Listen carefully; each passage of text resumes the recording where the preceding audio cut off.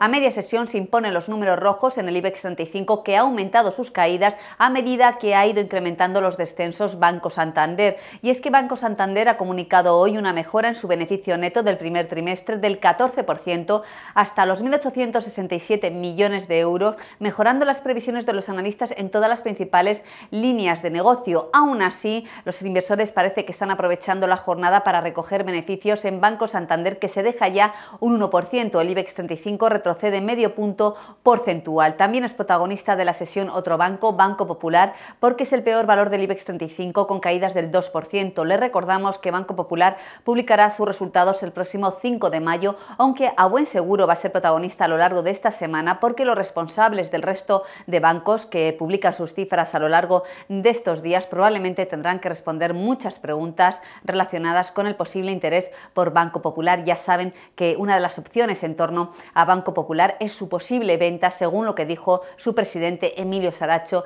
en la última Junta General de Accionistas. Aparte de estos dos bancos, son protagonistas otras compañías como AENA, Iberdrola o Red Eléctrica, que también han presentado sus resultados del primer trimestre. Destaca especialmente AENA, que sube más de un 2% y lidera durante toda la mañana el IBEX 35 tras anunciar una mejora en el beneficio neto del 176,8%. Recuerden que mañana presentan sus resultados, entre otras muchas compañías dos de los principales bancos BVA, para el que se espera un beneficio neto de en torno a los 1.080 millones de euros, según el consenso de FATSET, y Bankinter, para el que se espera un beneficio neto en el primer trimestre de 127 millones de euros. Fuera del ámbito micro, tenemos que mirar a Estados Unidos y al contexto más macroeconómico, porque en principio hoy el gobierno de Donald Trump va a desgranar los detalles de la esperada reforma tributaria del presidente de Estados Unidos. Ya lo saben, la medida más destacada es ese recorte que, quiere hacer en el impuesto de sociedades hasta el 15%